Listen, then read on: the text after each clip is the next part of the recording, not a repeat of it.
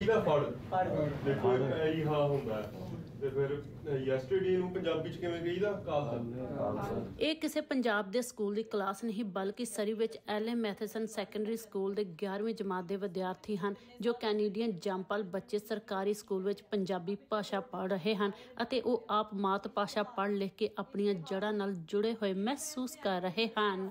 ਪੰਜਾਬੀ ਲਿਖਣ ਪੜ੍ਹਨ ਸੁਣਨਾ ਤੁਹਾਡੀ ਜ਼ਿੰਦਗੀ 'ਚ ਕੀ ਫ਼ਰਕ ਪਿਆ ਹੈ? ਮੈਨੂੰ ਬਹੁਤ ਫ਼ਰਕ ਪਿਆ ਹੈ ਕਰਕੇ ਜਿੱਦਾਂ ਹੁਣ ਮੇਰੇ ਵੀ ਘਰੇ ਨਾਨੀ ਨਾਨਾ ਹੁੰਦੇ ਆ, ਤਾਂ ਜਦੋਂ ਉਹ ਵੀ ਪੁੱਛਦੇ ਆ ਉਹ ਅਖਬਾਰ ਤੇ ਪੜਨ ਦਾ, ਮੈਂ ਉਹਦੇ ਨਾਲ ਪੜ੍ਹਦੀ ਰਹਿੰਦੀ ਆ, ਫਿਰ ਇਦਾਂ ਮੇਰੀ ਕਨੈਕਸ਼ਨ ਬਣਦੀ ਆ ਨਾਨੀ ਨਾਨਾ ਦੇ ਨਾਲ। ਜਿਹੜੇ ਐਲੀਮੈਥਿਸ ਦੀ ਪੰਜਾਬੀ ਕਲਾਸਿਸ ਆ, ਉਹ ਸਿਰਫ ਤੁਹਾਨੂੰ ਭਾਸ਼ਾ ਬਾਰੇ ਨਹੀਂ ਸਿਖਾਉਂਦੀਆਂ, ਉਹ ਤੁਹਾਨੂੰ ਤੁਹਾਡੇ ਕਲਚਰ ਬਾਰੇ ਸਿਖਾਉਂਦੀਆਂ ਆਲੀਆਂ ਕਲਾਸਾਂ ਤੁਹਾਨੂੰ ਜਿਹੜੇ 10 10 ਗੁਰੂ ਆ ਉਹਨਾਂ ਬਾਰੇ ਸਿਖਾਉਂਦੀਆਂ, ਜਿਹੜਾ ਵੀ ਕੁਛ ਲਾਹੌਰ, ਇੰਡੀਆ ਪਾਰਟੀਸ਼ਨ ਆ ਉਹਨਾਂ ਬਾਰੇ ਸਿਖਾਉਂਦੀਆਂ ਆ ਸਿਰਫ ਲੈਂਗੁਏਜ ਤੇ ਨਹੀਂ ਮੁੱਕਦੀ ਆ ਤੁਹਾਨੂੰ ਸਾਰੀ ਕਲਚਰ ਬਾਰੇ ਸਿਖਾਉਂਦੀ ਆ। ਉਹ ਕਨੈਕਸ਼ਨ ਜਿਹੀ ਬਣਦੀ ਆ। ਹੁਣ ਜਦੋਂ ਆਪਾਂ ਗੁਰਦੁਆਰੇ ਜਾਂਦੇ ਆ ਕੋਈ ਕਿਸੇ ਨੇ ਕਦੇ ਗੁਰੂ ਗ੍ਰੰਥ ਸਾਹਿਬ ਜੀ ਨੂੰ ਪੜ੍ਹਨਾ ਹੋਵੇ ਫਿਰ ਪੰਜਾਬੀ ਚ ਪੜ੍ਹਨੀ ਬੜੀ ਵਧੀਆ ਲੱਗਦੀ ਆ।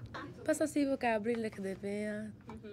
ਕੀ ਕੀ ਸਿੱਖ ਰਹੇ ਹੋ? ਅੱਜ ਇਹਦੇ 'ਚ ਕੀ ਨਵਾਂ ਮੁਕਤਾ ਕੰਨਾ ਤੇ ਸਹਾਰੀ। ਤਾਂ ਆਲਮੋਸਟ ਸਰੀ ਦੇ ਵਿੱਚ 23 ਸਾਲ ਹੋ ਚੱਲੇ ਆ ਤੇ ਐਲੇ ਮੈਥਸਨ ਦੇ ਵਿੱਚ 19 ਸਾਲ ਹੋ ਗਏ ਆ ਪੜਾਉਂਦਿਆਂ ਉਹਨਾਂ 19 ਸਾਲਾਂ ਦੇ ਵਿੱਚੋਂ ਮੈਂ 16 ਸਾਲ ਇੱਥੇ ਤੋਂ ਪੰਜਾਬੀ ਪੜ੍ਹਾ ਰਹੀ ਹੈਗੀ ਆ ਮੇਰਾ ਬੈਕਗ੍ਰਾਉਂਡ ਉਹਦਾ ਸਾਇੰਸ ਟੀਚਰ ਦਾ ਆ, ਪਰ ਮੈਂ ਆਪਣੀ ਖੁਸ਼ੀ ਦੇ ਨਾਲ, ਮਾਂ ਬੋਲੀ ਦੇ ਨਾਲ ਪਿਆਰ ਹੋਣ ਕਰਕੇ ਮੈਂ ਪੰਜਾਬੀ ਦੀਆਂ ਕਲਾਸਾਂ ਵੀ ਪੜਾਉਣੀ ਆ ਅਤੇ ਜੇ ਸਰੀ ਸਕੂਲ ਡਿਸਟ੍ਰਿਕਟ ਦੀ ਗੱਲ ਕਰੀਏ ਤਾਂ ਇੱਥੇ ਤਕਰੀਬਨ 9 ਹਾਈ ਸਕੂਲ ਅਤੇ 4 ਐਲੀਮੈਂਟਰੀ ਸਕੂਲ ਤੋਂ ਇਲਾਵਾ BC ਦੀਆਂ 4 ਯੂਨੀਵਰਸਿਟੀਆਂ ਵਿੱਚ ਵੀ ਪੰਜਾਬੀ ਭਾਸ਼ਾ ਪੜ੍ਹਨ ਦਾ ਬਕਾਇਦਾ ਬੱਚਿਆਂ ਨੂੰ ਇੱਥੇ ਕ੍ਰੈਡਿਟ ਮਿਲਦੇ ਹਨ।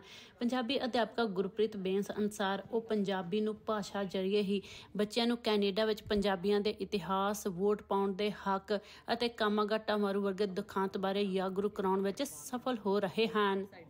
ਤੇ ਜੇ ਅਸੀਂ ਕਹਿ ਦਈਏ ਵੀ ਆਪਾਂ ਇੰਡੀਆ ਤੋਂ ਪੰਜਾਬੀ ਦੀਆਂ ਕਿਤਾਬਾਂ ਮੰਗਾ ਕੇ ਉਹਨਾਂ ਨੂੰ ਪੜ੍ਹਾ ਦਈਏ ਤੇ ਉਹ ਬੱਚਿਆਂ ਦਾ ਜਿਹੜਾ ਉਹਨਾਂ ਦਾ ਅ, ਪੜ੍ਹਨ ਦਾ ਲੈਵਲ ਆ ਜੋ ਇੰਟਰਸਟ ਆ ਉਹ ਮੈਚ ਨਹੀਂ ਕਰਦਾ। ਸਾਨੂੰ ਕੈਨੇਡੀਅਨ ਬੱਚਿਆਂ ਲਈ ਕੈਨੇਡੀਆ ਦੇ ਦੀਆਂ ਹੀ ਕਿਤਾਬਾਂ ਛਪਾਉਣੀਆਂ ਪੈਣਗੀਆਂ ਰਿਸੋਰਸਸ ਬਣਾਉਣੇ ਪੈਣਗੇ। ਜਾਂ ਜਿੱਦਾਂ ਹੁਣ ਮੇਰੀ ਕਲਾਸ ਦੇ ਵਿੱਚ ਮੈਂ ਆ ਗੁਰਮੁਖੀ ਬਾਕਸ ਹੈਗਾ ਆ ਇਹ ਪੰਜਾਬੀ era.com ਵਾਲਿਆਂ ਨੇ ਇਹ ਮੈਨੂੰ ਭੇਜਿਆ ਸੀਗਾ। ਔਰ ਮੈਂ ਇਹਨੂੰ ਟਰਾਈ ਆਊਟ ਕੀਤਾ ਆਪਣੀਆਂ ਕਲਾਸਾਂ ਦੇ ਵਿੱਚ ਤੇ ਮੈਨੂੰ ਲੱਗਾ ਕਿ ਬੱਚੇ ਬਹੁਤ ਲਾਈਕ ਕਰਦੇ ਬਹੁਤ ਵਧੀਆ ਆ। ਇਹਦੇ ਵਿੱਚ ਕਈ ਚੀਜ਼ਾਂ ਨੇ ਕਈ ਟੂਲਸ ਨੇ ਜਿਹੜੇ ਕਿ ਤੁਸੀਂ ਪੰਜਾਬੀ ਜਿੱਦਾਂ ਆਪਣੀ ਗੁਰਮੁਖੀ ਦੀ ਸਕ੍ਰਿਪਟ ਆ ਉਹਨੂੰ ਲਿਖਣ ਵਾਸਤੇ ਕੁਝ ਤੁਸੀਂ ਸ਼ਬਦਾਵਲੀ ਬਣਾ ਸਕਦੇ ਹੈਗੇ ਆ। ਕੈਨੇਡਾ ਵਿੱਚ ਪੰਜਾਬੀ ਭਾਸ਼ਾ ਦੇ ਪਸਾਰ ਵਿੱਚ ਵੱਡਾ ਯੋਗਦਾਨ ਪੰਜਾਬੀ ਲੈਂਗੁਏਜ ਐਜੂਕੇਸ਼ਨ ਐਸੋਸੀਏਸ਼ਨ ਦਾ ਹੈ ਜਿਨ੍ਹਾਂ ਦੀ ਮਿਹਨਤ ਸਦਕਾ ਹੀ ਅੱਜ ਕੈਨੇਡਾ ਵਿੱਚ ਪੰਜਾਬੀ ਭਾਸ਼ਾ ਕੰਮਕਾਜ ਅਤੇ ਰੋਜ਼ਗਾਰ ਦਾ ਸਾਧਨ ਬਣ ਗਈ ਹੈ। ਪਰ ਕੈਨੇਡਾ ਵਿੱਚ ਪੰਜਾਬੀਆਂ ਦੀ ਜਨਸੰਖਿਆ ਵਧਣ ਦੇ ਨਾਲ ਫਿਰ ਬੋਲੀ ਪਤਨ ਵੱਲ ਕਿਉਂ ਜਾਣ ਲੱਗ ਪਈ ਹੈ?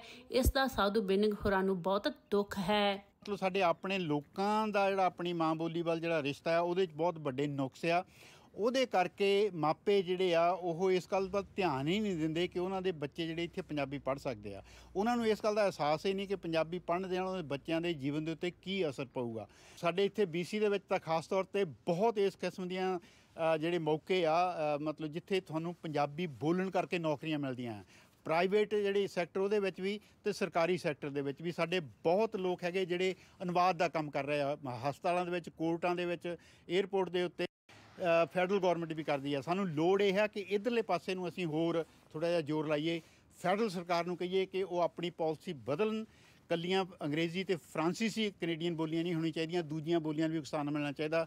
ਸਾਨੂੰ 126 ਸਾਲ ਹੋ ਗਿਆ ਇੱਥੇ ਕੰਟਰੀਬਿਊਟ ਕਰਦੇ ਨੂੰ ਕੈਨੇਡਾ ਨੂੰ। ਬਿਨਿਕ ਨਹੀਂ ਸਮਝਦੇ ਕਿ ਪੰਜਾਬੀ ਭਾਸ਼ਾ ਕਦੇ ਖਤਮ ਵੀ ਹੋ ਸਕਦੀ ਹੈ, ਪਰ ਜਿੰਦਾ ਵੀ ਤਾਂ ਹੀ ਰਹਿ ਸਕਦੀ ਹੈ ਜੇ ਇਸ ਦੇ ਪਸਾਰ ਲਈ ਹਰ ਪੰਜਾਬੀ ਇਸ ਦੀ ਕਦਰ ਕਰਦਾ ਹੋਇਆ, ਆਪਣੀ ਜ਼ਿੰਮੇਵਾਰੀ ਸਮਝ ਕੇ ਇਸ ਨੂੰ ਉੱਪਰ ਚੁੱਕਣ ਵਿੱਚ ਹੰਬਲਾ ਮਾਰੇ। ਚਾਈਨੀਜ਼ ਜਿਹੜੀ ਸਟੇਟ ਆ ਪਿੱਛੇ ਚਾਈਨ ਉਹ ਮੁਲਕ ਦੇ ਵਿੱਚ, ਉਹ ਸਾਰੀ ਦੁਨੀਆ ਦੇ ਵਿੱਚ ਆਪਣੀ ਬੋਲੀ ਨੂੰ ਕਾਇਮ ਰੱਖਣ ਲਈ, ਵਧਾਉਣ ਲਈ ਪੜਾਉਣ ਲਈ ਬਹੁਤ ਧਿਆਨ ਦਿੰਦੇ ਆ, ਪੈਸਾ ਖਰਚਦੇ ਆ। ਸਾਡੇ ਪੰਜਾਬ ਦੇ ਲੋਕ ਮਤਲਬ ਸਰਕਾਰ ਵੀ ਇਹ ਚਾਹੁੰਦੀ ਆ ਵੀ ਜਿਹੜੇ ਤੁਸੀਂ ਥੋੜਾ ਬੜਾ ਸਾਨੂੰ ਪੈਸੇ ਦਿਓ। ਮਤਲਬ ਇਹ ਇਸ ਕਰਕੇ ਸਾਡੇ ਪਿੱਛੇ ਸਟੇਟ ਨਹੀਂ ਹੈ।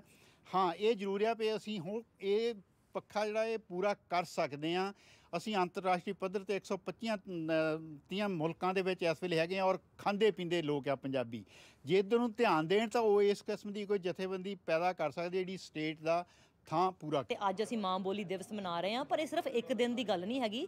ਪੰਜਾਬੀ ਮਾਂ ਬੋਲੀ ਨੂੰ ਉੱਤੇ ਚੁੱਕਣ ਵਾਸਤੇ ਸਾਨੂੰ ਹਰ ਰੋਜ਼ ਮਿਹਨਤ ਕਰਨ ਦੀ ਲੋੜ ਹੈ। ਇਹ ਨਹੀਂ ਕਿ ਸਾਲ ਦੇ ਵਿੱਚ 21 ਫਰਵਰੀ ਆ ਗਈ ਤਾਂ ਆਪਾਂ ਜਸ਼ਨ ਮਨਾ ਲੇ ਤੇ ਬਸ ਕੰਮ ਖਤਮ ਹੋ ਗਿਆ। ਮਾਂ ਬੋਲੀ ਉਹ ਹੈ ਜਿਸ ਨੂੰ ਬੱਚਾ ਆਪਣੀ ਮਾਂ ਦੀ ਕੁੱਖ ਵਿੱਚੋਂ ਸਿੱਖਦਾ ਹੈ ਅਤੇ ਇਸ ਕਰਕੇ ਹੀ ਇਸ ਨੂੰ ਇੱਕ ਕੁਦਰਤੀ ਦਾਤ ਦਾ ਦਰਜਾ ਵੀ ਦਿੱਤਾ ਗਿਆ ਹੈ ਜਿਸ ਨੂੰ ਪੜ੍ਹ ਲਿਖ ਕੇ ਬੱਚਾ ਆਪਣੇ ਕਲਚਰ ਅਤੇ ਸੱਭਿਆਚਾਰ ਨਾਲ ਵੀ ਜੁੜਦਾ ਹੈ। ਅਤੇ ਇਹ ਵੀ ਕਿਹਾ ਜਾਂਦਾ ਹੈ ਕਿ ਜੇ ਕੋਈ ਆਪਣੀ ਮਾਂ ਬੋਲੀ ਨੂੰ ਭੁੱਲ ਜਾਂਦਾ ਹੈ ਤਾਂ ਉਹ ਅਕਸਰ ਹੀ ਇਤਿਹਾਸ ਦੇ ਪੰਨਿਆਂ ਵਿੱਚੋਂ ਵੀ ਗਵਾਚ ਜਾਂਦਾ ਹੈ ਅਤੇ ਪਹਿਲਾਂ ਪਹਿਲ ਇਹ ਵੀ ਬਦਦੁਆ ਕਿਸੇ ਵੱਲੋਂ ਦਿੱਤੀ ਜਾਂਦੀ ਸੀ, ਜੇ ਕਿਸੇ ਨੂੰ ਕੋਈ ਮਾੜੀ ਗੱਲ ਕਹਿਣੀ ਹੁੰਦੀ ਸੀ ਤਾਂ ਕਹਿ ਦਿੰਦਾ ਸੀ, ਜਾਂ ਤੈਨੂੰ ਤੇਰੀ ਮਾਂ ਬੋਲੀ ਭੁੱਲ ਜਾਵੇ। ਸੋ ਅਸੀਂ ਆਪਣੀ ਮਾਂ ਬੋਲੀ ਨੂੰ ਜੇ ਨਹੀਂ ਭੁੱਲਣਾ ਚਾਹੁੰਦੇ, ਤਾਂ ਸਾਨੂੰ ਭਵਿੱਖ ਵਿੱਚ ਅਜਿਹੇ ਉਦਮ ਕਰਨੇ ਪੈਣਗੇ। ਆਪਣੀ ਅਗਲੀ ਪੀੜ੍ਹੀ ਨੂੰ ਆਪਣੀ ਭਾਸ਼ਾ ਨਾਲ ਜੋੜਨਾ ਪਵੇਗਾ। ਪ੍ਰਭਜਤ ਕਾਲੋਂ, ਆਮਨੀ ਨਿਊਜ਼, ਸਰੀ।